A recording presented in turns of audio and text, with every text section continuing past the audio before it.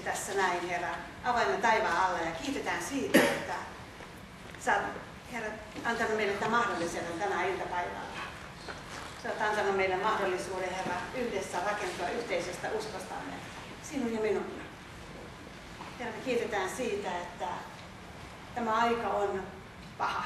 Me kiitetään siitä, että kaikki menee eteenpäin hyvin nopeasti.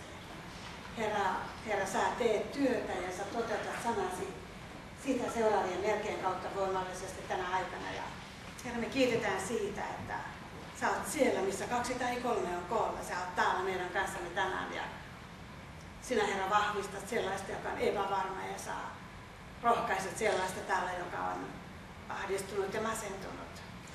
Herra, saa todella pelastaa sellaisen, jolla ei ole varmuutta, jossa ei ole, ole, ole taivas varmuutta vielä sydämessä. Sitä se elämän varmuutta. Herra, sä varmasti parannat sellaisen, joka on tullut tänne, Herra, sairaana ja koen, että täällä on joku sellainen, joka on niin eksyksissä. Sä oot niin eksyksissä, että sä et ystävät tiedä, mihin suuntaan sä menisit. Sä oot yrittänyt saada apua ihmisiltä ja kääntynyt ihmisten puoleen. Ja, ja, mutta sittenkin tuntuu, että se apu ei ole ollut tarpeeksi hyvä sun elämään. Ja mä uskon, että on eräs, joka voi sinua auttaa ystävää. Hän voi auttaa ja hän haluaa auttaa sinua. Hän haluaa auttaa sinua. Että sä rakas pääset sieltä ahdingosta ja umpikujasta ulos. Sieltä, missä sä koet olevasi täysin, täysin yksin. Kiitos Herra, että tätä ystävää tänä iltana ja iltapäivällä erityisesti kohtaat Herra. Vapauta Herra hänet. Anna hänelle elämän iloa, Herra. Anna sellaista elämän iloa ja tulevaisuuden ja toivon näköalaa, että hän pääsee tästä tukalasta tilanteesta ulos. Herra, et sinä halua, Herra, hänestä ohi käydään. Et halua häntä millään tavalla hyljätä, et hänestä annokkoa Jeesualaa. Kiitos Herra, että sä et hänestä irroita otettasi. Kiitos Herra, että ystävä saa tänään kokea oikein sydämen syvälle sielun syvyyteen saakka, että Herra sä täältä pelastaa. Sinulla on aina toivon näköillä, sinulla on aina tulevaisuus. Herra sä antaa hän antaa toivon, hän antaa toivon, ihan kaikki se elämän toivon. Jeesuksen nimessä ja on mukana täällä jo ajassa. Täällä meidän ajassa, kun me vaellamme Herra on täällä meidän kanssamme, sinunkin kanssasi ystävää. Jeesuksen nimessä. Kiitos Herra, että ne aidot kaatuu ja häkin ovet avautuu ja, ja Herra, ystävä saa tulla ulos sieltä Jeesuksen nimessä. Siellä on vihollinen yrittää jahdata meitä ja yrittää saada meidät umpikujan ahdinkoon, mutta Herra, sinä tulet ja sinä osoitat sitä rakkautta, mitä Herra meidän sydämenne kaipaa ja halajaa, Herra. Kun silloin pyhänä ottaa, ottaa valtaa meistä ja otetta meidän elämästä, niin silloin me tarvitaan Jeesuksen voimaa, Jeesuksen nimen voimaa ja Jeesuksen veren valtavaa voimaa. Jeesuksen veren nimen valtavaa voimaa, joka hän vain voi meidät pelastaa. Hän vaan voi meidät vapauttaa. Halleluja. Miksi sinä olet kalastellut sellaisista lähteistä, jotka eivät ole puhtaita? Miksi sinä menet saastaisille vesille, saastaisille lähteille? Ymmärrä, ymmärrä ja palaja, palaja sieltä. Katso, mitä sinä voit saavuttaa sellaista, mitä minä en voisi sinulle antaa. Kiitos Herra. Sinä sanot Herra sanassasi, että se mikä on meissä on suurempaa kuin mikä on maailmassa. Sen tähden me halutaan tukeutua ja turvautua sinun Herraa. Vaikka sinä olet näkymätön tällä hetkellä, mutta olet näkyvä sinä tässä monessa muodossa Herra. Sinä asut sisäisesti meissä. Ja sä olet näkyvänä tavalla monen ihmisen muodossa tässäkin salissa. Jeesuksen nimessä. Herra sanoi, että teillä on nyt valmiusaikaa sellainen valmiusaika teidän elämässä. Herra valmistaa meitä tulevaa varten. Herra vahvistaa meitä tulevaa varten. Sinä et voi sanoa jonakin päivänä, että kukaan ei puhunut, kukaan ei kertonut. Minä en tiennyt, minä en ymmärtänyt. Tänäänkin me tahdon puhua ja tänäänkin tahdon kertoa Jeesuksen Kristuksen nimessä. Mm. Herra, me emme tiedä kuinka paljon aikaa on jäljellä. Me emme tiedä sitä. Me emme tiedä, Herra, onko se vuosissa, kymmenissä vuosissa, onko meidän henkilökohtaisessa elämässä tunneista kysymys, Herra, vuorokausista, vuosista, emme tiedä. Mm. Mutta anna meille se varmuus, että me tiedämme kyllä, minne me ollaan matkalla. Anna Herra meille se varmuus, että me tiedämme, että me olemme matkalla iankaikkista elämää varten. Ja tärkeää on rakas, että sinä tiedät, kuka Jumalan ainoasyntyinen poika on. Että sinä tiedät, kuka voi sinut pelastaa. Että sinä tiedät ja tunnet ja uskallat tunnustaa. Jeesus on minun Herrani. Jeesus on minun Herrani. Halleluja. Kiitos Herra. Halleluja. Herra, auta, että me ei, me ei riiputa niin näkyväisessä kiinni. Ei tässä maailman ajassa, ei tässä maailman houkutuksissa, kaikessa mikä tässä virrassa on meitä houkuttamassa kaikki aikaa, tarjoamassa meille niin paljon hyviä asioita ja niin monta vaihtoehtoa. Auta meitä, että me ei kiinnitetä mieltä ja sydämen, sydäntämme tähän maailman-ajan ja menon mukaan, vaan Herra sen mukaan, että me muutumme Herra mielemme uudistuksen kautta, sun henkisi kautta. Jeesus kohtaa täällä jokaista. Pyhä henki liiku tässä paikassa. Herra, liiku tässä kappelissa, Herra. Kohtaa Herra sairautta, Herra. Anna, anna Herra siihen epätoivon, toivon näköala. Jotenkin koen sanoa, että me tiedämme, että ei, kaikki me täältä lähdemme joku päivä. Me lähdemme joku päivä täältä. Älä pelkää sitä, onko se lähellä vai kaukana. Kiitä vaan Herraa niistä päivistä, mitkä meillä jäljellä ovat. Kiitetään Herra siitä, että meillä on tämä päivä. Meillä on tämä päivä. Iloitkaa ja riemuitkaamme juuri tästä päivästä. Eihän me huomisesta tiedetä mitään. Kiitos Jumalalle. Kyllä sinä ja minä teillä edetään huomiselle suunnitelmille, mutta ei me tiedetä siitä mitään. Me saatetaan hyvinkin hukkaan heilua ja hoitaa asioita. Ja saattaa olla, että Jumalan suunnitelma on aivan toinen kuin me tässä ajattelemme ja suunnittelemme. Ja vielä kiitetään siitä, että Herra sanoi, sinä sanoit aamulla minulle, että, että pitää muistuttaa siitä, että ei saa elää menneessä. Mm. Ei saa elää eilisessä. Herra että eilistä mennyttä ei enää ole. Se, mikä on tulevaa ja uutta, se on meidän semmoinen kiinnekohta ja se on meidän eteenpäin pyrkimisen halu. Ei se, mikä meni.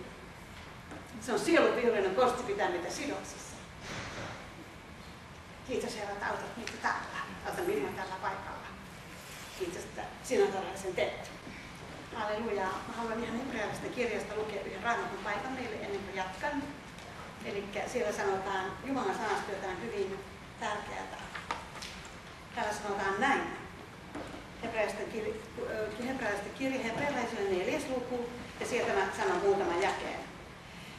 Sillä Jumalan sana on elävä ja se on voimallinen ja terävämpi kuin mikään kaksiteräinen miekka ja se tunkee lävitse kunnes se eroittaa sielun ja hengen nivelet sekä ytimet ja on sydämen ajatusten ja aivoitusten tuomitsija.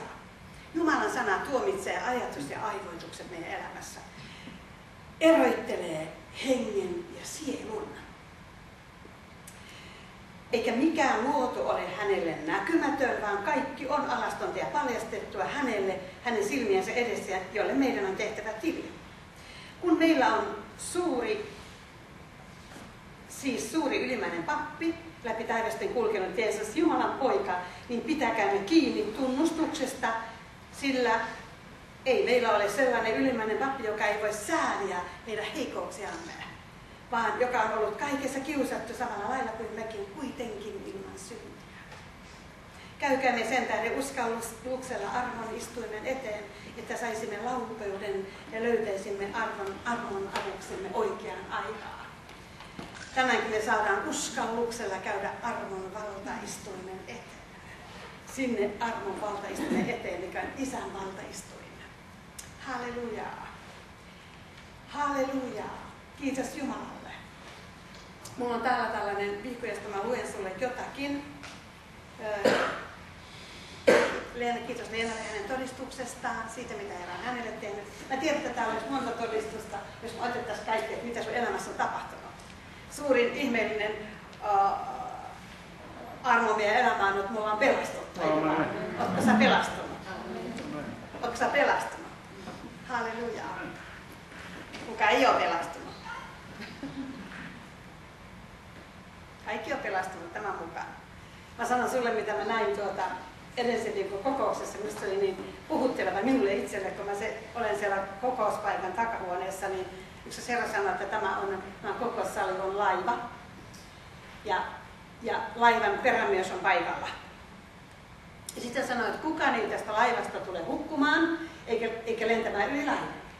Eli kaikki, jotka olivat tässä perämiehen kanssa samassa laivassa, tulevat pelastumaan. Ja mä kyllä rukoilisin mielellä, että tämä on tämä huone myöskin, tämä temppeli on Herran laiva.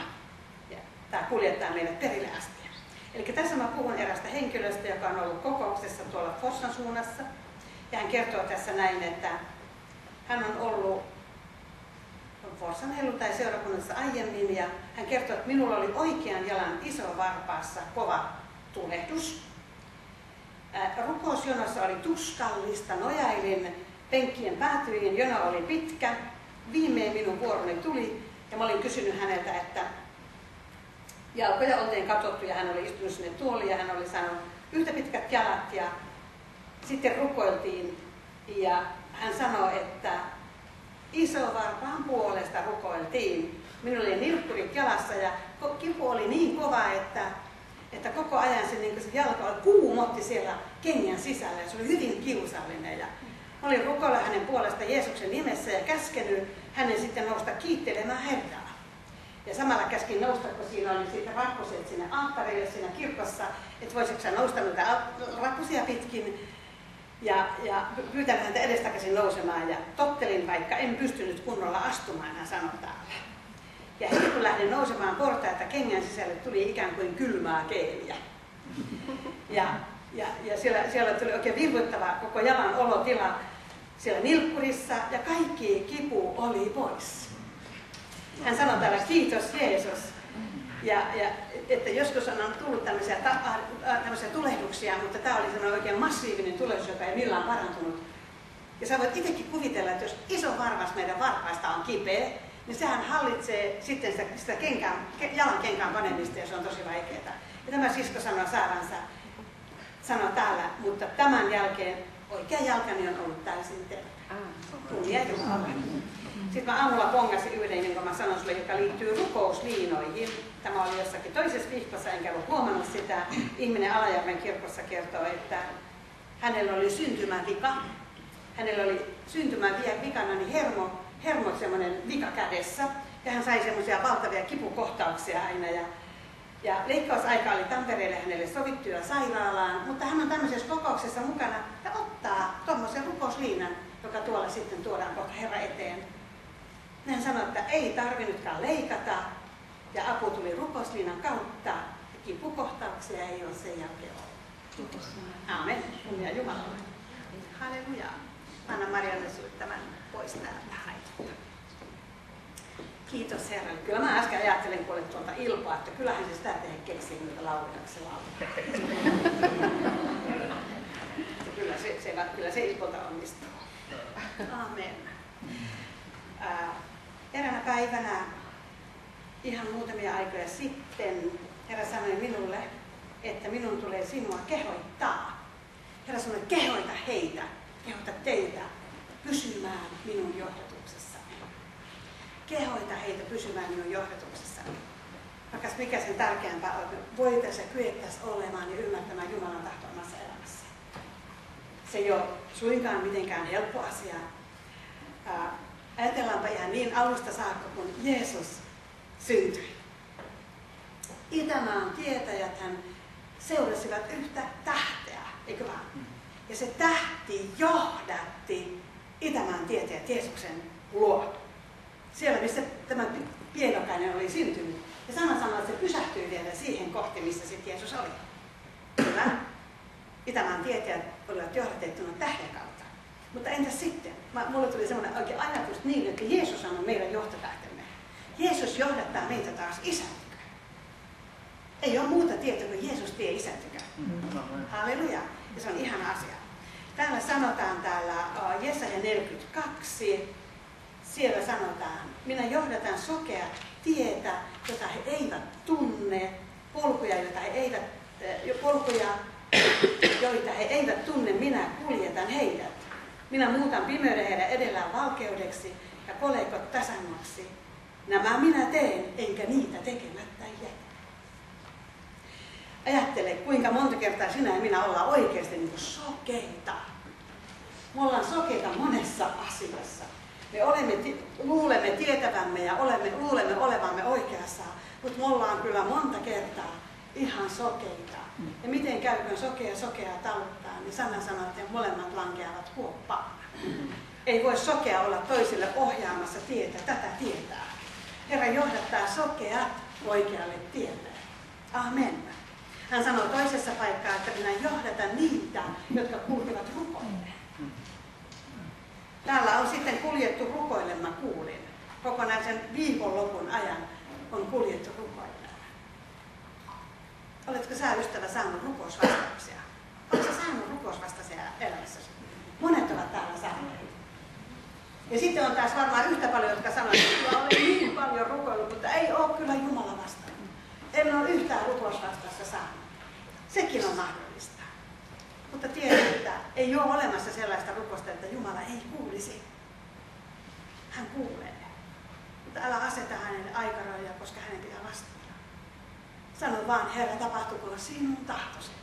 Tapahtukoon sinun tahtosi. Se on kaikista ihanin rukous meitä, kun me annetaan hänelle käskyjä, eikä käskytetä häntä. Halleluja. Mä, täällä Raamatussa on monta esimerkkiä siitä, miten mä voisin kertoa täällä Jumalan johdatuksesta, mutta mä menen vanhaan liittoon. Ja täällä mä oon merkannut erään paikan, mistä mä haluan sun kanssa käydä läpi. Tämä on raamattu. Mä oon kyllä kysellyt herralta, että kestääköhän tämä raamattu niin kauan kunnes sinä tulet koska nämä leviää joka suuntaan. Tämä on nyt jo toinen raamattu ja tämäkin alkaa olla aika seukkana jo. Mutta Jumalan sana onneksi ei häviä sitten, vaikka raamattu meneekin vähän huonoon kuntoon. Sanotaan, että Benjaminissä oli mies, joka oli hyvin rikas mies. Ja tällä benjamilaisella miehellä oli olemassa ainakin yksi poika, joka mainitaan täällä raamatussa nimeltä. Tämä Benjaminissä asuva mies oli nimeltänsä Kiis, ja tämän Kiisin poika on nimeltänsä Saul. Ja nyt sä pikkasen ehkä voit ajatella jo, että mistä mä haluan tuun puhumaan. Sano, Saulista sanotaan jotain semmoista, että en tiedä onko sun elämässä tämmöistä sanottu, että ootko sä itse ajatellut näin omalla kohdallasi, mutta täällä sanotaan, että Saul oli nuori, kaunis mies ja Israelin joukossa ei ollut kauniimpaa miestä. Hyvin harvoin miehestä käytetään sanaa kaunis, mutta täällä kyllä suomalainen raamattu on kääntänyt, olisiko se joku Mia, oululainen sanoisi. Mutta täällä tämä on käännetty kauniiksi. Hän oli päätänsä pitempi kaikkia muita. Hän oli sellainen mies, joka sitten myöskin huomattiin. Hän oli saanut kovasti, kovasti kasvaa pitkäksi mieheksi. Ja nyt se, mistä mä alan tästä, niin mä toivon, että sä pysyt nyt minun kanssani tässä mukana. Sitten hänen isältänsä, oli isältä siis, katoaa aasintammat. Ja, ja hän sanoi pojallensa Saulille näin, että ota palvelijoitasi, palvelijoitasi, palvelijoitasi joku mukaan ja mene, ja mene etsimään minun aasin tammoja. Niin hän kulkee Efraimin vuoriston halki ja kulki Salisanmaan halki, mutta eivät löytäneet niitä. He kulkivat Salimaan, Saliminmaan halki, eikä niitä ollut sielläkään. Sitten he kulkevat Benjaminin maan halki, eivätkä löytäneet niitä. Ajattele, aika laajalta alueelta he etsivät nyt näitä aasintammoja.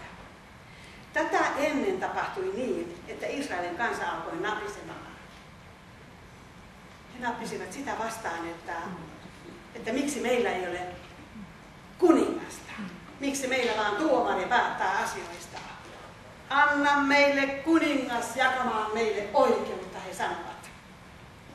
Ja Herra sanoi Samuelille, että kuule kansan ääntä kaikessa, mitä he sinulle sanovat, sillä sinua ne eivät pitäneet halpana, vaan he ovat pitäneet halpana minut olemaan heidän kuninkaansa. Israelilla oli oma kuningas, valtava taivaallinen kuningas, mutta kansa halusi oman kuninkaan. No, kumma kyllä aasintammat ei löytynyt. Voitko y- ymmärtää, että aasintammatkin voi olla Jumalan suunnitelma? Voitko ymmärtää, että pileämme aasikin voi olla Jumalan suunnitelma? Kuule, jos sinä oikein olet äksyjä, että kuule Jumalan ääntä, että Jumala tahtoa, Jumala voi kuule panna sinun, sinulle kuule aasinkin puhumaan. Jumala on kaikki valta. Mä oon joskus sanonut, että kaipa mullekin sitten Aasi puhui silloin, kun Herra vapautti maallisesta työstä, niin mä oon puhunutkin siitä sinulle. Oletko kuullut, oletko kuullut mun siitä sanomaan? Muutama teistä on kuullut sanomaan, miten en ymmärtänyt sitä, että vaikka Jumala oli puhunut, mulla oli hirveän suuri tahto ja halu jättää maallinen työ, mutta että miten ja missä vaiheessa ja koska ja että mä nyt oman mielisuosioni mukaan kulje. Ja Herra laittoi minulle puhumaan henkilö, jolla ei ollut luonnollista puhetta. Hän oli kyllä ihan ihminen, ei ollut Aasia. Mutta mä oon verrannut tätä tilannetta, että mulle pitää Piljämen aasin puhua, että mä ymmärsin, mitä Herra tahtoo mun tekevän. Eli mä olin maallisessa työssäni vielä silloin, ja tämä henkilö oli sairaalassa oleva henkilö, joka ei, jolla ei ollut normaali puhetta. Hän siis, hänellä oli hyvin sekava puhe, semmoinen, mä oon käytän sanaa möngertäminen, että hän ei kunnon sanoja sanonut. Ja kun mä menin siihen huoneeseen erään toisen luokse, niin tämä vanha, vanha mummo sanoi mulle välittömästi hyvin selkeällä, ihan suomen kielellä selkeästi, sanoi mulle tällaisen lauseen kaksi kertaa. Etkö sinä ala ottamaan jo lopputiliä? ja sitä painotti vielä, etkö ala ottamaan jo lopputiliä. Ja, se oli mulle ollut kahden vuoden paini, että herra, koska sinä haluat, että mä oikeasti niin jätän pois maallisen työni. Ja tämä Pileämmin mummo, kun puhui mulle, niin, niin minä ymmärsin sen, että nyt on aika. Siitä ei minulle ihan muutama päivä sitten, kun mun työnantajani tai oikeastaan toimitusjohtaja oli kotona käymässä ja mä sain sanoa itseni irti. Jumala voi käyttää Bileamin aasia. Ajattele, että joskus me ollaan sellaisia, että enemmän kuin aasi ymmärtää Jumalan puhetta ja Jumalan tahtoa kuin me. Me ollaan niin paksukorvaisia ja paksupäisiä, että me ei oteta vastaan, varsinkin jos on jotain sellaista, mitä me ei olla itse hokattu, vaan me ollaan jonnekin toiseen suuntaan menossa. Ja Jumala sanoi, että lähde toiseen suuntaan. Ei olla sellaisia, että mennään, mennään niin kuin pitäisi mennä, tai mennään taas siihen, kun pitäisi mennä jonnekin muualle. Tai mennään, mennään pakoon sitä, mitä Herra sulle sanoo. Se on helppoa meille. Se on hyvin helppoa meille. Hän sanoi täällä, kun he olivat tulleet Suufin maahan, sanoi Saul palvelijallensa, joka oli hänen mukana, että tule palatkaamme kotiin, muuten hän isä, isä käy levottomaksi meidän tähtemme jättää. Ja hän jättää mielestään ne aasintamme, että lähdetään takaisin. Mutta palvelija sanoi hänelle, että katso tässä kaupungissa on Jumalan mies, arvossa pidetty mies. Kaikki, mitä hän sanoo, se varmasti toteutuu. Menkäämme nyt sinne. Kenties hän ilmaisee meille jotakin matkasta, jolla olemme. Ja niin Sausi sanoo palvelle, että jos menemme sinne, niin mitä me viemme siis miehelle? Sillä ei vaan loppunut repuistamme, eikä meillä ole muutakaan lahjaa viedä Jumalan miehelle. Vai onko meillä mitään? Oli tietävä joku palkkio mukana, kun meni Jumalan miehen tykö. Se oli vanhassa liitossa aika tavallinen tapa. Piti olla jotain tietävää. Me tiedetään, miten Keehasin kävi. Muistatko, miten Keehasin kävi? Keehasi meni ottaa sellaista lahjaa itsellensä, jonka, jonka Elia, kun Elisa oli kieltäytynyt ottamasta. Ja, ja se liittyy tähän Naimanin pitali-asiaan. Hän sanoi, ei, en ota sinulta mitään, ei todella, Jumala on sinua auttanut. Mutta keihäsi palvelija ja ajatteli, että kyllähän minä tuolta Jumalan mieheltä, tuolta mieheltä, varmasti rikkaita mieheltä otan, mitä se oli tarjoamassa. Kun ei nyt tämä profeetta halunnut, niin minä otan. Ja meni ottamaan. Ja sä tiedät, miten kävi tuli takaisin Elisalla. Elisa sanoi, että missä olit? Tuolla vaan, kuljeskin tuolla vaan, en missään sen kuulemassa. Hän sanoi, että eikö niillä henkeli kulkenut sinun kanssasi, kun sinä menit sen palvelijan mukana ja pyysit häneltä. Mitä tulikaan pukuja niin paljon ja mitä sieltä tulikaan hänelle. Ja tiedätkö, mikä tuli palkkana? Sä olet lukenut tämän raamatun. Palkaksi tuli se, että Keehasi sairastui siihen pitaliin mistä Naimani oli Jumala puhdistanut. Se oli tätä vanhan liiton aikaa. Onko meillä mitään? Palvelija vastaa vielä Saulille ja sanoo, että katso, tässä minulla on neljälle sekeliä hopeata. Minä annan sen Jumalan miehelle, että hän ilmaisisi meille jotain matkastamme. Muinoin sanottiin Israelissa, kun mentiin kysymään Jumalalta, näin, tulkaa, menkäämme näkijän luo. Sillä sitä, jota kutsuttiin profeetaksi, sanottiin siihen aikaan näkijäksi. Saul vastaa palvelijansa puhe, se on hyvä, tule menkäämme. Ja he menevät kaupunkiin, jos Jumalan mies on. Ne kohtaa siellä rinnettä noustessaan kaupungin tyttöjä, jotka on menossa vettä ammentamaan. Olet, onko näkijä täällä, he kysyvät. On. Katso, se on tuolla edessäpäin, riennä. Siellä on juuri nyt hän on menossa kaupunkiin, koska kansalla on tänä päivänä teurastuhri uhri, uhri kukkulalla. Kun tulette kaupunkiin, tapaatte hänet ennen kuin hän menee uhri kukkulalle aterioitsimaan. Sillä kansa ei aterioi ennen kuin hän tulee. Ja nythän on kysymys Samuelista. He menevät kaupunkiin, ja kun he tulevat kaupunkiin, niin katso Samuel tulee heitä vastaan. Hän on menossa sinne uhri kukkulalle. Päivää ennen Saulin tuloa oli Herra ilmoittanut ja sanonutkin Samuelille kaiken valmiiksi. Mua siunaa, mua siunataan Jumalan huolenpito ja Jumalan edeltä ilmoittama tapa. Hän, hän, hän puhuu meille edeltä asioita. Hän kyllä kertoo, ei hän tee mitään ilmoittamatta palvelijoillensa profeetoille. Hän puhuu, hän ilmaisee. Kuuntele, mitä oli saanut Samuel jo tietää. Herra sanoi hänelle, huomenna tähän aikaan minä lähetän sinun tykösi miehen Benjaminin maasta. Voitele hänet minun, minun kansani Israelin ruhtinaaksi. Hän on vapauttava minun kansani filistealaisten käsistä, sillä minä olen katsonut kansani puoleen, sen huuto on tullut minun eteeni. Voi että mä sanon Herra, että näin varmasti ja selkeästi kuulisimme Herra sun puheesi. Näin selkeästi ja varmasti tietäisi, mitä se Herra haluaa minun tekemään mene sinne ja sinne, mene kauniin portin pieleen tai mene sinne ja sinne, siellä tapaat sen ja sen. Ei tarvitse kuule uskovaa hapuilla ympärille, että mitähän se Jumala tahtoo mun tekevän, mitähän minä tässä tilanteessa tekisin, onko tämä Jumalan tahto vaiko eikö, mitä mun pitää tehdä. Rukoillaan sitä, ystävä, meidän kohdalla, että me saisimme ymmärtää Jumalan tahdon omassa elämässä.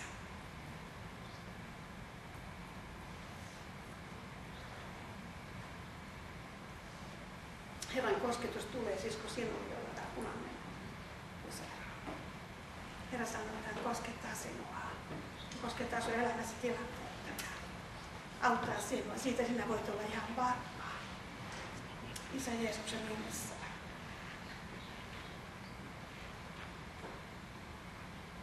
Kun Samuel näkee sitten Saulin, niin hän tietää heti.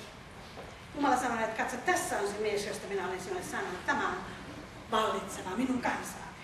Ei Saul tiennyt tästä yhtään mitään. Saulhan oli etsimässä aasintammoja. Sehän oli lähtenyt etsimään, kun isät oli karannut huutamaan aasintammaa. Saul menee Samuelin tykö ja sanoo, että sano minulle, missä on näkijän asunto. Ja hän sanoi, että minä olen näkijä, sanoi Samuel. Mene minun edelläni Uhri Kukkolalle, aterioikaa tänä päivänä minun kanssani. Huomenna aamuna minä päästän sinut menemään ja kaikki mitä sinulla on sydämelläsi, minä selvitän sinulle. Kaikki mitä sinulla se on aivan ihana, kun Jumala voi tietää meidän elämästä. Ja Jumala tietää. Sä oot varmaan kokenut, kun sun elämään tulee joku, joka sanoo sulle sun elämäsi asioita. Sanoo niitä asioita, mitä kukaan ei jos tiedä. Ei kukaan tiedä. Musta oli hyvin hämmästyttävää. Tästä on varmaan 7-18 vuotta aikaa. Mä olin Oulussa palvelemassa ihan tuommoisessa sanajan rukouksen illassa semmoisena alttaripalvelijana avustamassa siellä. Ja sitten eräs mies tuli minun luokseen rukoiltavaksi sinne sivustalle, mikä onko se puori nimeltään kirkossa.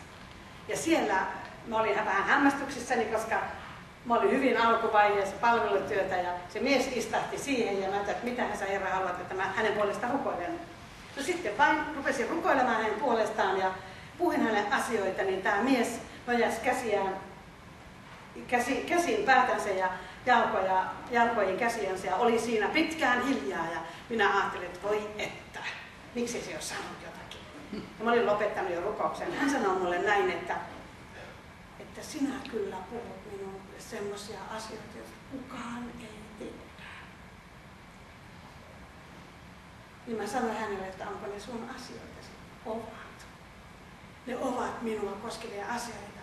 Mutta sitten hän sanoi vielä tällä tavalla, että mä en ole edes omalle siskolleni puhunut näistä. Että nämä on semmoisia asioita, joita kukaan ei tiedä. Käsitin, että hän oli siskon kanssa aika hyvät välit, aika läheiset välit, mutta siskollekaan ei ole puhunut näistä asioista. Ja siinä olin hämmästynyt. Mä olin hämmästynyt siitä, miten Jumala voi puhua rukouksen kautta toiselle. Amen. Kyllä sinä tiedät, mistä minä puhun koska sinun kohdallesi on varmasti monesti näin käynyt. Tai että sinä olet saanut olla, olla tavallaan tiedon sanojen, viestin, viisauden sanojen viejä jollekin toiselle. Niin. Kuuntelepa. Kuuntelepa, mitä Samuel sanoo seuraavaksi Saulille.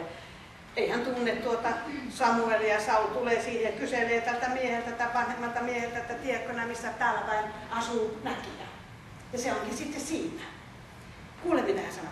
Äläkä enää ole huolissasi aasin tammoista, jotka ovat sinulta olleet kateissa kolme päivää. Eikö ole tarkka tieto? Sillä ne ovat löytyneet ja kenen, kaikki, kenen on kaikki, mitä kallisarvoisinta Israelissa on, jollei sinun ja kaiken sinun isäsi perhe. Älä enää huolehdi. Kato ne aasintammot, niin nehän löytyy jo. Eikö aika ihmeellistä? Saul vastaan sanoi, minähän olen benjaminilainen, olen sukukunnasta, joka on Israelin pienimpiä ja minun sukuni on vähäisin kaikista Benjaminin sukukunnista. Miksi puhut minulle noin? Mitä sä, mitä sä tarkoitat, kun sä puhut minulle näin? Niin Samuel ottaa Saulin palvelijoiden ja vie hänet ruokailuhuoneeseen ja antaa heille ylimmän sijaan kutsuvirat joukossa, joita oli näin 30 miestä, noin 30 miestä. Ei kuka tahansa saanut näkien kanssa samassa ruokapöydässä olla. Tämä oli kunniaa Saulille. Annettiin siinä näkijän pöydässä. Sä oot lukenut sen ihanan paikan raamatusta, miten, miten Joosef oli myyty. Ja Joosef loppujen lopuksi pääsi Egyptin, Egyptin sinne vilja, vilja-aittojen vartijaksi ja, ja varakkaaksi. Ja kaikki tuli häneltä hakemaan sieltä ruokaa ja, ja ostamaan ja niin myös hänen veljensä jossakin vaiheessa, jotka olivat myyneet hänet kauppiaille siellä ohikulkeville.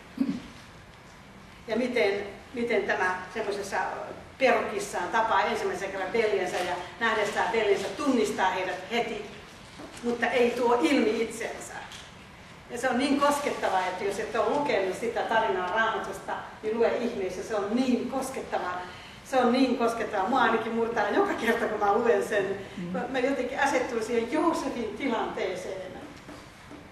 Miten Jumala oli vienyt häntä eteenpäin, miten Jumala oli häntä siunannut ja miten sitten veljet tulee ja sitten siellä on, on säkin suusta löytyy sitä sun tätä hopea-astiaa ja rahat on palautettu ja, ja voi hyvä ihme sentään ja nyt pitää mennä takaisin sanomaan, että ei me olla varmasti niitä rahoja otettu, mutta ne oli vaan säkin suussa, kun me tuolla pysähdyttiin ja tarkisteltiin.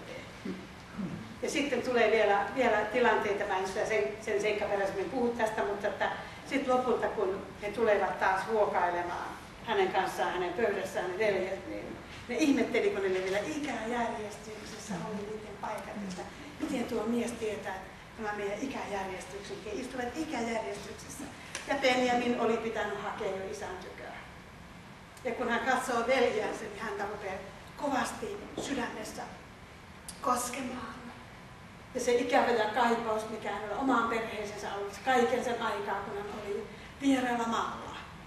Ja kun hän sitten sieltä loppujen lopuksi ei voi hillitä itseänsä, vaan kääntyy nopeasti pois huoneesta ja menee takahuoneeseen itkemään ikävänsä. Ja lopulta hän sitten paljastaa, kuka minä olen. Hän sanoo, minä olen Joosef.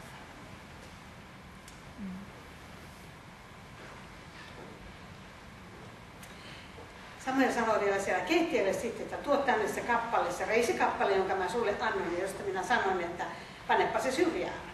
Niin keittäjä toi reiden ja mitä siihen kuuluu ja pani sen Saulin eteen. Samoin sanoi, että katsopa, tämä pannaan sun eteesi. Et, et se, on, se on mikä on sulle varattu, syö siitä, sillä juuri täksi ajaksi se säästettiin sinua varten, kun minä sanoin, minä olen kutsunut kansaa. Niin Saul aterioi Samuelin kanssa sinä päivänä. Mä mietin, että eiköhän tuo Saul miettinyt, että mitä tämä oikein tarkoittaa. Mulle tullaan tämmöinen reisi syötäväksi, joka oli enemmän kuin muilla. Ja mitä varten se on niin säilytetty minua varten. Saul oli kuitenkin ihan tavallinen rikkaan miehen poika. Ei hänestä silleen mitenkään erikoisesti sanota, että hän olisi mitenkään erikoinen, erikoinen ollut. Kun he sitten olivat tulleet Urikukkolalta alas kaupunkiin, hän puhui Saulin kanssa katolla ja ja he nousivat siellä varhain. Ja Samuel sanoi aamun sarastaessa heille, että, tai Saulille, että nouse sinä minä lähden saattamaan sinua. Ja he menevät yhdessä ulos. Mutta hän sanoo sitten hänen palvelijalle, että käske hänen mennä sieltä edeltää. Anna hänen mennä, mutta pysähdy sinä tähän hetkeksi, niin minä julistan sinulle Jumalan sanaa. Ja se sana, mikä tulee, niin se on valtava ja se on Saulin elämän täydellisesti muuttava. Kokonaan täydellisesti. Samuel ottaa, kun he jää kahden kesken, ottaa öljyastian ja vuodattaa öljyä Saulin päähän. Ja sanoo, katso Herran voidellut sinun perintöosansa ruhtinaaksi. Kun sinä tänä päivänä lähdet minun luotani, niin kohtaat sinä Raakelin haudan luon Selsa, Hissa, Peneminin rajalla kaksi miestä, ja sanovat sinulle, aasin tammat, joita olet lähtenyt etsimään, ovat löytyneet. Jumala antoi Samuelin kautta vielä Saulille merkin siitä, että minä olen tässä kaikessa takana, minä olen tämän kaiken takana. Että hän ei tarvitse epäillä, että mitä hän tämä nyt oli, että, että kansani ruhtinaaksi minut voi mutta hänelle annettiin, Herra sanoi, että hän todistaa monta asiaa kahden, jopa kolmen todistajan kautta. Me tiedetään se. Niin tässä tulee kolme eri merkkiä sitten Saulille. Ensimmäinen oli se, että siellä on kaksi miestä, jotka sanoivat, että aasintamat, joita on lähtenyt etsi, on löytyneet. Ja isäsi on heittänyt mielestä jo aasintamat ja on levoton teidän puolestanne. Mitä voisin tehdä poikani avuksi? Ja kun menet sitten edemmäksi, niin tulet Taaporin tammelle. Siellä tulee sinua vastaan kolme miestä menossa Jumalan eteen Beeteliin. Yksi kantaa kolmea vohlaa, toinen kantaa kolmea leipäkappua ja kolmas kantaa viinileiviä. Ne tervehtivät sinua ja antavat sinulle kaksi leipää, ota ne heitä taas selkeä merkki, kun ne miehet tulee, ja otat sieltä vaan ne leivät vastaan sitten. Kolmas merkki. Sen jälkeen sä tulet Jumalan kipeään, jossa filistealaisten vartiot, vartiostot ovat, ja tulessasi sinne kaupunkiin sinä kohtaat joukon profeettoja, jotka tulevat alas uhrikukkolalta hurmoksissaan, harppuja, vaskirumpuja, huudoja kannen edessänsä. Ja kuudessa että sinä sinulle tapahtuu sellainen, että Jumalan Herran henki tulee sinuun. Ja sinäkin joudut hurmoksiin niin kuin hekin ja sinä muutut toiseksi mieheksi. Pekka, muutuitko sinä, muutuitko sinä toiseksi mieheksi, kun Herran henki tuli sinuun? Kyllä. Halleluja. Mm, amen. Ajattele, tänä vuonnakin 2015 mies voi muuttua eri mieheksi, kun Jumala henki tulee hänelle. Sauli vanhassa niin jos kerrotaan, että sitten kun sinä tulet sinne ja hurmoksissa olevia profeettoja tulee sinua vastaan, niin henki, Herran henki tulee sinuunkin. Minä mietin, että kyllä Saul varmaan odotti sitä kolma, kolmattaa merkkiä, mikä Samuel antoi. Ja niin nämä ennusmerkit käyvät toteen, teen niin, mitä tehtäväksi tulee, sillä Jumala on sinun kanssasi. Jouduin kerran tilanteeseen, missä olen tosi tiukilla tosi tiukilla. En siitä seikkaperäisen tahdo tässä nyt puhua, mutta joutuin aivan niin semmoisen inhottavan vainon kohteeksi, ikävän tilanteen kohteeksi. Mä tiesin, että minä olen oikealla asialla. Mä tiesin, että siinä ei ole, se ei ole oikein se asia, mistä yksi henkilö kävi minua vastaan. Ja se tapahtui erässä, erässä tilaisuudessa ja, ja mä en ollut siellä puhumassa, vaan kuulijana. Ja mä olin hyvin järkyttynyt, mä olin hyvin murtunut, kun tämä, sana tuli minulle, mitä siellä tapahtui. Ja mä olin siellä kirkon eteisessä sillä hetkellä ja, ja mä itketti tosi paljon. Ja yksi sieltä tulee joku ihminen mun perässä ja sanoo minulle, että älä välitä, että joku luultavasti luulee olevansa tuo Jumala. Älä välitä. Ja kun mä sitten juttelin ja rukoilin sitä Herra edessä ja lähdin sitten lopulta ajan sieltä kotiin, niin Herra sanoi mulle niissä tilanteissa, että tyttäreni, minä olen sinun kanssasi. Ja se oli niin vahvasti sanottu, että mulla oli epäilyksen ajatusta, että minäkö tässä koettelemuksessa olisin yksi. Herra sanoi, minä olen sinun kanssasi. Halleluja. Mitä silloin väliä, vaikka tuhat kaatuu sivulta ja kymmenen tuhatta sun vasemmalta puolelta, kun Jumala on sinun kanssa. Vaikka se meidän, meidän ihmisen luontoa ja ajatusta ja kaikkia muuttaakin ja järkyttääkin. Mutta Jumala ei. Jos sä teet Jumalan tahtoa omassa elämässäsi, niin vaikka mitä sinulle tulisi, Jumala ei sinua hylkää.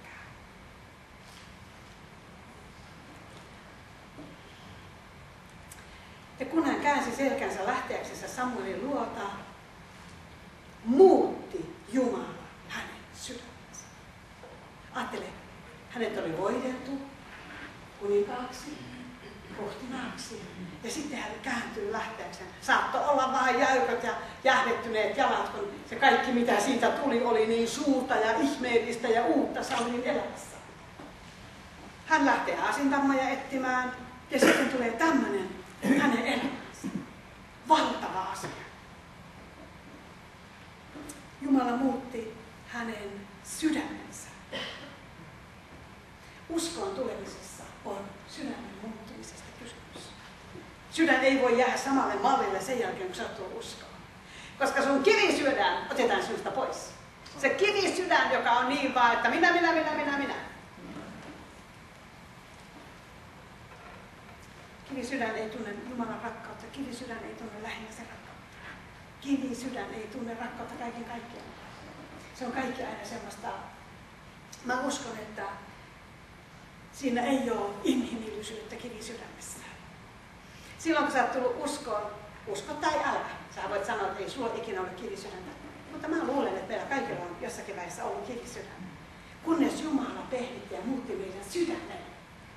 Ja sydämestä tuli sitten lihasydän. Se sydän alkoi lyömään normaalilla tavalla. Alkoi lyömään Jumalan puoleen, alkoi lyömään Kristuksen rakkaudessa. Tiedätkö mitä? Mä oon tavannut näinäkin aikoina ikävä kyllä sellaisia uskovia, jotka pitäisi olla uskossa. Ja ne on mielestänsä uskossa, mutta heidän sydämensä on kova kuin kivi. Kaikki se, mitä tulee suusta, on tulikiven katkuista. Eikä sitä, mitä tulee suusta, se on aina vaan kovaa tuomion henkeä. Siellä ei ole minkäänlaista armon pilkahdusta, ei minkäänlaista Kristuksen rakkauden osoittamista. Minä sanon, että minä olen kohdannut sellaisia. Minä en tiedä, oletko sinä kohdannut, mutta minä olen. Siinä tulee paha mieli tänne sisimpään, koska sä tajuat, että tämän ihmisen, äh, ihmisen kohdalla ei ole vielä saanut Jumala tehdä murtavaa voimansa. Jumala ei ole saanutkaan muuttaa hänen sydäntään. Hänellä on vielä se edelleen se kova kivi sydän. Ja kun he tulivat sitten sinne kipeään, niin katsotkin joukko profeettoja tuli häntä vastaan. Silloin Jumalan henki tuli Sauliin. Ja hänkin joutui hurmokseen. Joku kääntää tämän hurmoksiin joutumisen sanalla profeetallisen hengen, hengen vaikutuksen alaiseksi. Tuli profeetallinen voito, niin tuli profeetallinen henki, henkiä. Ja kaikki, jotka ennestään tunsivat hänet, näkivät hänet hurmoksissa, niin kuin profeetatkin, ja sanoivat toiselle, että mikä kiisin pojalle on tullut?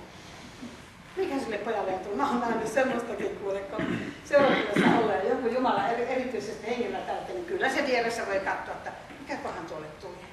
Miten se tuolla tuolla? Miten se, tuolla, miten se voi noin iloita?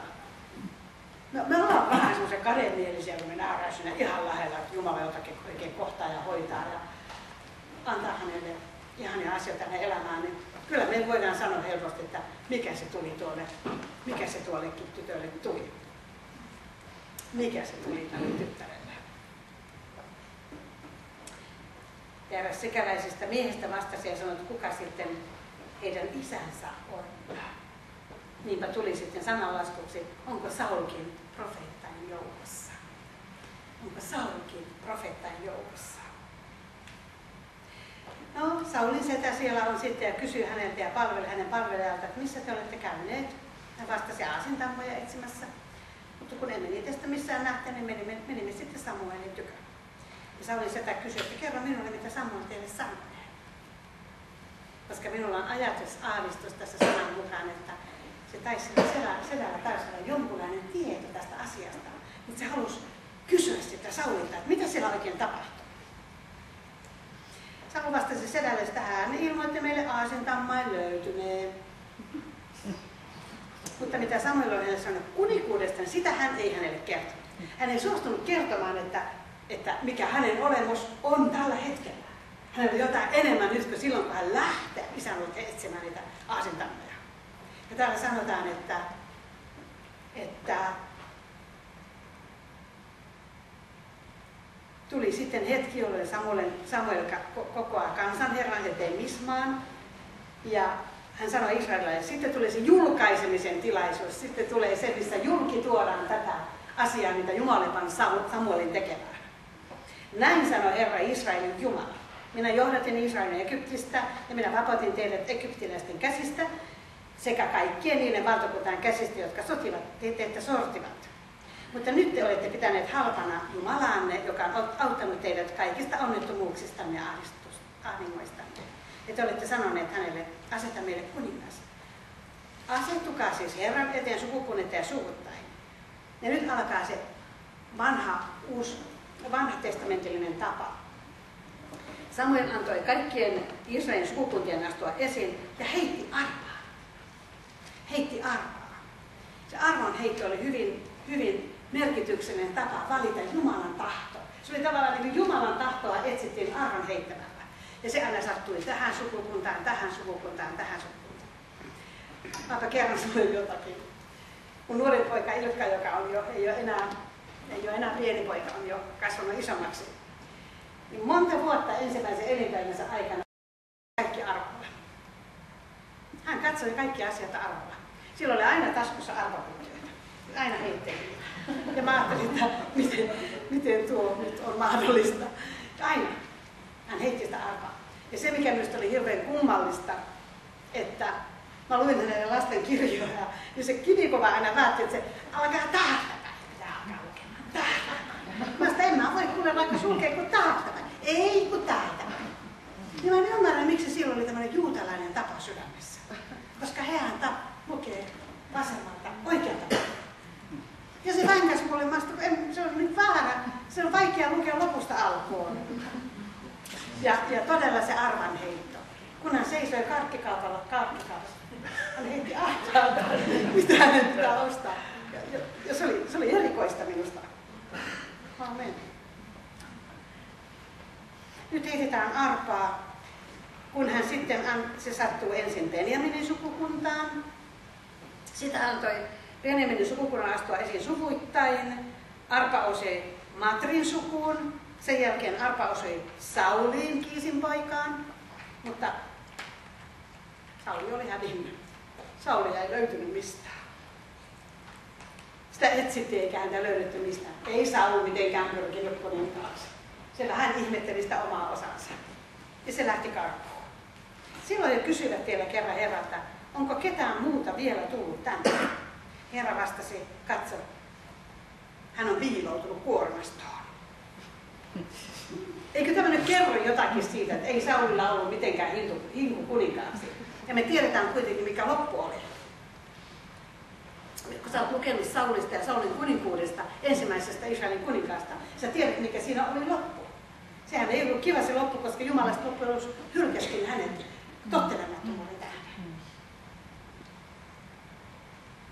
He juoksevat, tuovat hänet sieltä ja asettuu kansan keskelle. Niin, hän oli päätänsä pitempi kaikkia kansaa. Oli helppo löytää kuningas. Se aina kulki paljon korkeammalla kuin muut. Ja Samuel sanoi kaikelle kansalle, näittekö kenen Herra on valinnut, sillä ei hän ole hänen vertaistansa koko, te, teidän koko kansan joukossa. Niin kansa sitten koko kansa riemuitsee ja huutaa, eläköön kuningas. Mä tahdon puhua vaan tässä sen takia Saulin elämästä se Jumalan johdatus, minkälaista se voi olla. Se voi olla sellaista, että me ei välttämättä sitä ymmärretä. Ja se voi olla ihmeellinen. Mun mielestä tämä on esikuvallisen ihmeellinen tämä Saulin elämä ja Jumalan johdatus hänen elämässään.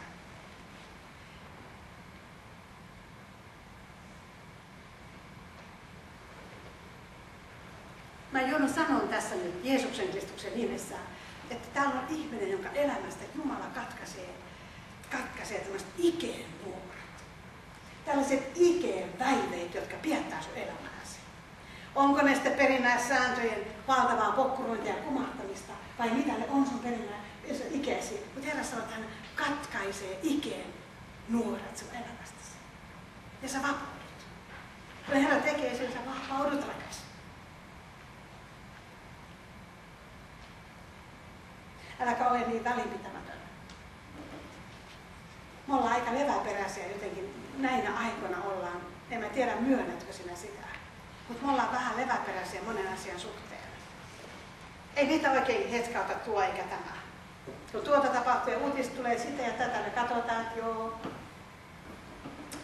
Mutta ei se kauheasti meitä hetkauta. Me se ei tee monestikaan meissä sitä aikaiseksi, että me alkaa rukoilemaan. Alkaa huutaa Herran puolelle. Herra, kiitos, että tartut tähän tilanteeseen. Kiitos, että autat tässä tilanteessa.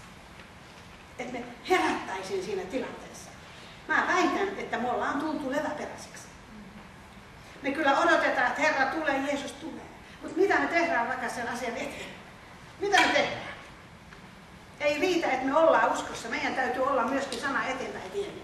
Meidän täytyy olla jyvän kylväjä. Meidän täytyy olla sana eteenpäin vienyt.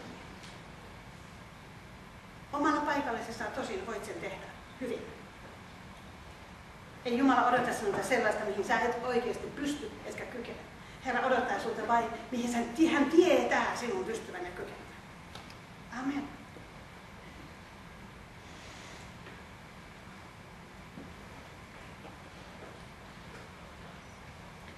ollaan kuultu näin aikoina uutisista kaikenlaista. Me kuullaan uutisista, miten suomalaista, Suomeen tulee kovasti paljon pakolaisia ja on kauheasti kahtia jakoisuutta tässä asiassa. Onko se oikea vai onko se väärin vai miten se on ja pitääkö ottaa vai eikö pidä ottaa ja, ja onko ne oikeita, jotka tulee vai onko ne vain tämmöisiä elintaso juoksijoita, jotka parempaa elämää hakeva, onko ne todella, onko ne todella hädässä olevia ihmisiä. No Jumala sen parhaiten tietää. Mutta älä ole leväperäinen tässäkään asiassa. Rukoile Herraa. Rukoile Herraa, että Herra tilanteeseen. Nyt näyttää, että vyöryy hän joka puolelta. Vyöryy, vyöryy, vyöryy. Herra sanoi vuosia vuosia sitten minulle, että itärajalta vyöryy. No sieltäkin varmaan alkaa vyörymään. Mutta nyt vyöryy semmoisesta odottamattomista kohteista. Niihinkin maahan.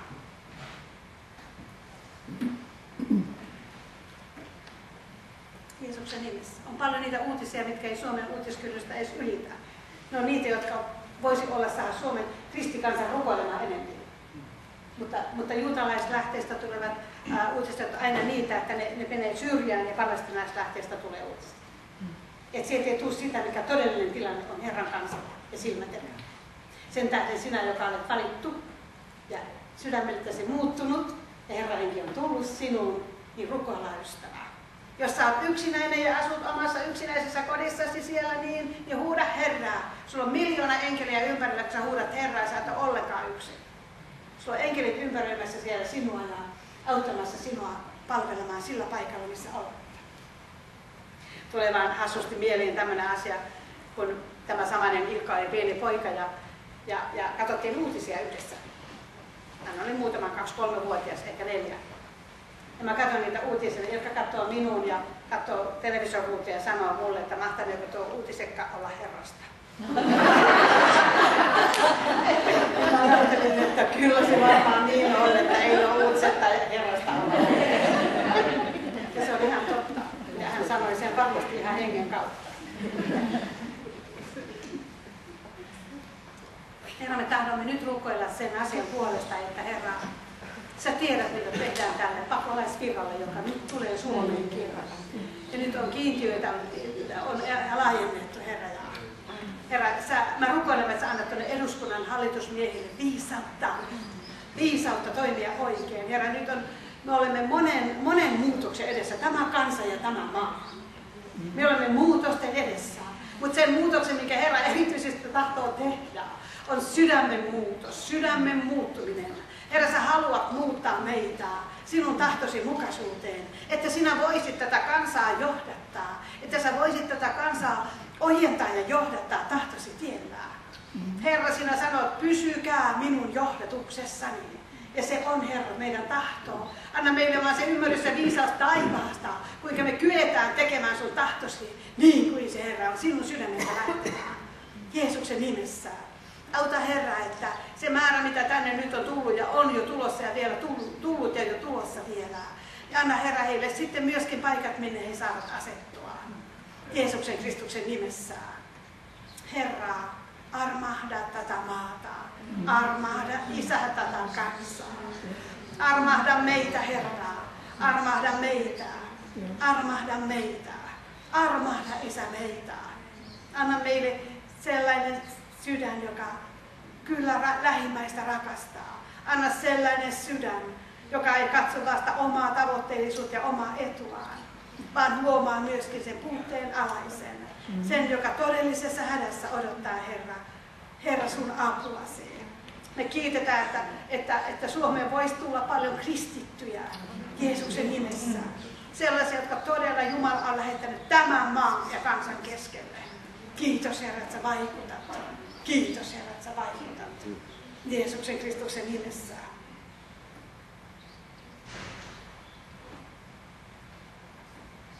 Jotenkin koin sanoa, että, että ihan koko tämän niin tilanteen yllä mä näen vain ison käden. Ison käden. Uskon, että se on mestarin käsi. Ihan tämän siis täällä. Iso käsi. Herra, kiitos, että käsi on sellainen käsi, jossa on arvet ja arvenjäljet ja verenpisarat. Jeesus, kiitos, että yksi pisara riittää paranemaan tänä iltana. Yksi pisara riittää vapautumaan tänä iltana. Halleluja. Herra voi yksi, kaksi ottaa meidät kouraansa, koko porukan tästä ja hoitaa meitä. Herra, kiitos ja kunnia ylistys. Valtava Herra, valtava Herra. Me kiitämme sinua, me ylistämme sinua. Kiitos Herra kaikista lahjoista, mitä sä olet antanut meidän käyttöön. Kiitos Herra uudesta sydämestä. Kiitos Herra hengen voimasta, jonka sä haluat voimallisesti laskea tähän aikaan. Oikein sellainen voitelun ajan. Oikein sellaisen hengen voitelun ajan sinä Herra haluat tämän kansan keskelle laskea. Halleluja. Ja me ei vaan ajatella, me ei vaan puhuta, me ei vaan rukoilla, että anna herätyksen tulla, vaan kiitos, että herätys on. Herra, se herätys on. Se on. Se on, Herra. Kiitos ja kunnia ylistys. Kiitos ja kunnia ylistys. Halleluja. Halleluja. Kiitos Herra. Minä olen ottanut Jesua lähdä Kiitos Herra. En tiedä mikä se sun jalassa on se vaiva, mutta sä et kunnolla kävele. Sun jalassa on joku vaiva, sä et kunnolla astu sillä. Jeesuksen nimessä kiitos Herra, sanon, että parantaa sun jalkasi vaivana. Kiitos Herra, sinä parannat kunnia Jumalalle. Kiitos Herra. Halleluja, paras olla sei. Halleluja, leki vieran amakorotorossa varante aina. Se on, sä oot käynyt ympyrää, sä oot mennyt koko ajan ohi. Sä oot koko ajan mennyt ohi siitä, mihin Jumala on asettanut sinut. Miksi sinä et uskalla pysähtyä siihen paikkaan? Se on hyvä, se on sinulle siunattu paikka. Pysähdy, rakas, pysähdy. Jeesuksen nimessä. Halleluja. Kiitos Herra parantavasta voimasta sitä. Kiitos Herra. Jollakin on nielun alueella kipuja, onko se joku flunssan jälkitila tai, mutta Herra koskettaa sun nielun kipua. Kiitos Herra, että hän saa niellä ilman kipua Jeesuksen nimessä. Kiitos Herra. Halleluja. Halleluja. Kiitos Herra. Halleluja. Vielä sanon sinulle, että on joku, jolla on ollut aikaisemmin sun elämässä on sattunut jonkunlaisessa kolarissa tai tapaturmassa, ja sulla on sen jälkeinen tila on vielä, että se vaivaa sun elämäsi. Ja kiitän Herra siitä, että sä kosketat tätä ystävää, joka kolarin jälkitilassa vielä kärsii kipuja. Jeesuksen nimessä. Kiitos Herra, sinä korjaat luita ja korjaat Herra, jotenkin väärä asentokin on sun luussa. Jeesuksen nimessä kiitos, että parannat. Halleluja. Halleluja. Halleluja. Sitten joudun rukoilemaan sun kotiasian puolesta, sun asuntoasian puolesta. Isä, mä kiitän Herra, että se asuntoasia, mikä nyt on ollut huonona pitemmän aikaa, kyllä, Kyllä, uusi asunto on järjestetty. Herra on järjestänyt sinulle jo uuden asunnon ja sinä pääset, sinä pääset vapautumaan tästä edellisestä asunnostasi. Kiitos Herra, että kiit, mä kiitän sinusta taivaallinen asunnon välittäjä, joka annat uuden asunnon. Jeesuksen nimessä. Se on juuri sellainen, mitä sä oot pyytänyt. Sä oot pyytänyt määrätystä paikasta, sä oot pyytänyt määrätystä alueelta ja Herra on kuullut sun rukouksesi. Kiitos Herra, että tämä asunto asia on niin selvä, että ei mitään muuta kuin toimintaa nyt. Jeesuksen nimessä.